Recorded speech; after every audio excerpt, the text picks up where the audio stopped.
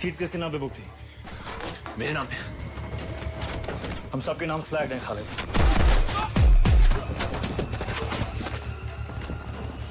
कौन है?